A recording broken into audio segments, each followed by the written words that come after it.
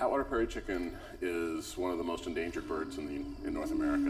Originally, in the early 1900s, there were close to a million birds occupying land from the Louisiana border down to Corpus Christi. This part of Texas really started to develop.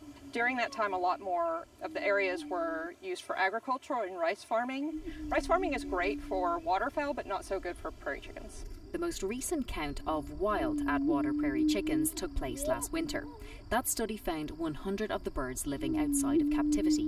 But even that figure wouldn't be possible without the work being done by the Houston Zoo. We have been cooperating with other institutions for the past 20 years in captive breeding for release back into the wild. Meaning the zoo has a flock of prairie chickens which are actually located on the grounds of Johnson Space Center.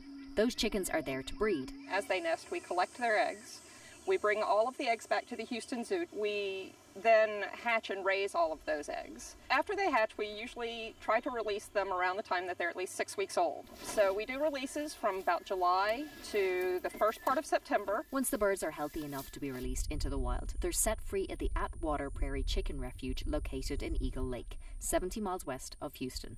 We've been working on this program for about 20 years, and in all honesty, the first 15 of those years was really figuring out just how to breed them in captivity. This most recent release was really notable because it's the highest number of birds that we've released in the history of the captive, captive breeding population.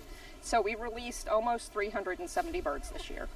Zoo officials are optimistic when it comes to the future of the Attwater prairie chicken. We've really made a lot of headway. So, what we hope to achieve over the next few years is to get consistent breeding and raising of chicks in the wild so that they can start repopulating themselves. For Houston Public Media News, I'm Edel Howland.